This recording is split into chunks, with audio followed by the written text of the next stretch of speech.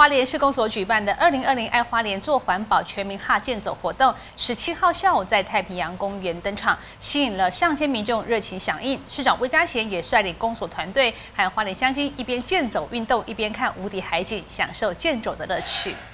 花莲施工所举办二零二零爱花莲做环保全民哈健走，十七号下午在太平洋公园曙光广场出发。市长魏家贤表示，健走是最贴近民众生活习惯的有氧运动，除了可以维持体态，也可以预防慢性疾病，减少衰弱症，还有舒缓压力。而施工所定期每年春季举办健走，从前年开始秋季也举办健走，希望可以借此来增加花莲乡亲的健康体魄。那今天在我们十七号的呃下午的时候，我们办了一个全民哈健走。那现场来的非常多的民众哈，有几千的民众到了现场来一起来参与这样的活动。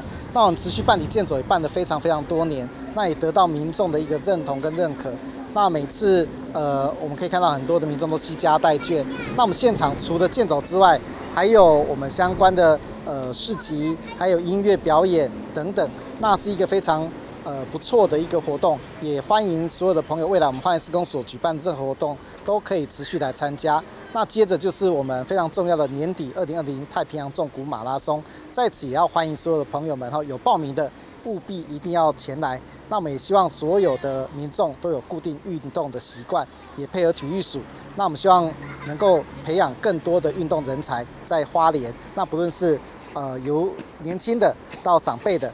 都有一个适性的一个运动，能够来做相关的一个活动。在健身教练带领大家做有氧健康操暖身之后，千人在鸣枪声中从曙光广场出发，往北沿着曙光桥到花莲港鸟踏石公园折返，全程大约是三点五公里，四十分钟左右就可以完成，非常适合全家人一起来健走健身。玩走全程的民众还可以拿到一张摸彩券，还有玩走礼一份。现场还有许多摊位提供有奖征答、玩游戏拿好礼，让活动更加丰富有趣。而最后就是摸彩了，这是施工所提供百项摸彩品，让民众都玩得好开心。